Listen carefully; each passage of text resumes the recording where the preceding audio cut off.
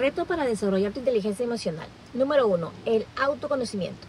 Dedica tiempo a reflexionar sobre tus emociones, identificando cómo te sientes frente a diferentes situaciones, ya sean positivas, negativas, de angustia, de miedo o de felicidad.